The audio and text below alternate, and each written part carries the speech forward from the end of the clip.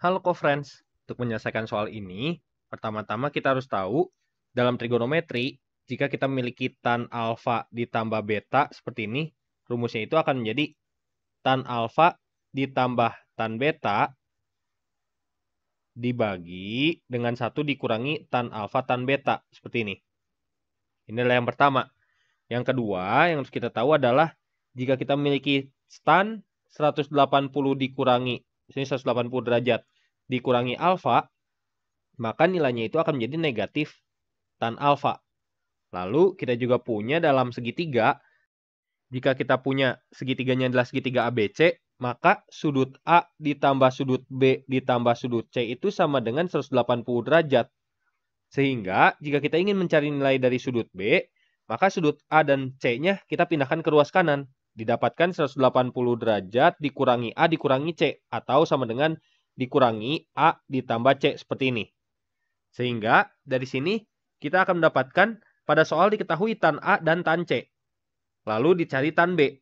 Maka untuk mendapatkan tan B, kita tuliskan di sini.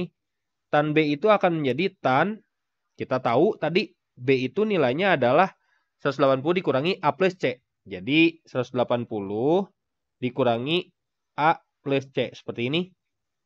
Lalu selanjutnya dengan menggunakan sifat yang kedua ini, kita tahu jika A plus C itu adalah alfa, maka bentuk ini boleh tuliskan menjadi negatif dari tan alfa. Karena alfanya adalah A plus C, jadi kita tulis A plus C seperti ini.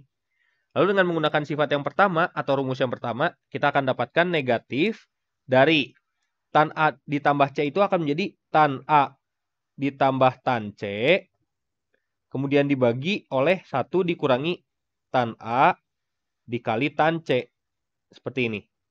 Lalu jika kita substitusikan, karena kita sudah tahu nilai tan A dan tan C-nya, kita tahu tan A itu 2. Jadi negatif 2 ditambah tan C itu adalah 1, dibagi 1 dikurangi 2 dikali 1. Seperti ini. Sehingga akan didapatkan nilai negatif dari 2 ditambah 1 adalah 3, dibagi 1 dikurangi 2 adalah negatif 1. Jadi jawabannya adalah negatif 3 per negatif 1 atau 3. Sampai jumpa di video pembahasan yang berikutnya.